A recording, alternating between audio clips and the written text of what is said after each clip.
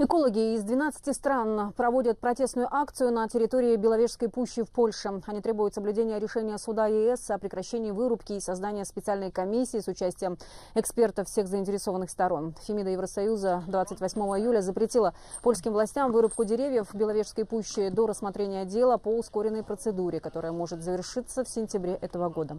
При этом сообщалось, что решение не окончательно. Властям Польши дали время до 4 августа для предоставления суду своих замечаний замечаний по данному делу. Варшава ответила на претензии суда ЕС, отметив, что вырубаются только угрожающие общественной безопасности, а также сухие и ослабленные деревья.